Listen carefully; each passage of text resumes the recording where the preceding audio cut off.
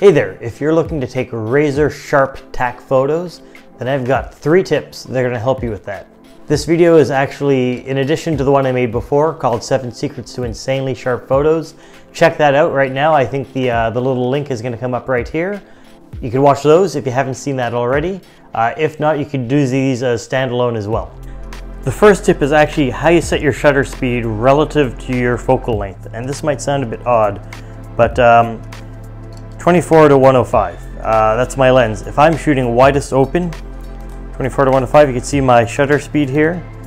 I want to be 125th or faster when I'm taking a photo. If I am shooting up at 105, I need to be over 100, so 125 at minimal. You always want to have a shutter speed, so the denominator in the shutter speed, that's as big or larger than your actual focal length that you're using. So if I were here on 70, uh, you want it at 80. And the reason you want to do that is the more zoomed you are, the more a little movement is going to create uh, some, uh, some uh, unclarity in your photo. Having the faster shutter speed will help get rid of that. If your shutter speed is too slow, you're gonna see that little bit of movement. Even if you have uh, image stabilization on, maybe you'll be able to push it a bit. So maybe at, uh, maybe at 70, I, I, could do 60 if I have my, uh, my IS on, which I do. You know, that being said, I go with the rule of keeping it at or above all the time, and that's gonna help you get much, much clearer photos. The second tip is about movement specifically you. So if you're focusing on something and you've pressed the shutter in halfway to get your focus, and then you just kind of moved in a bit to get that perfect shot, and then you take the shot, that sharpness is going to be off. The reason being you focused already on your uh, on your subject, and then you move the camera even so slightly. That's going to change the sharpness, especially if you're at a wider aperture.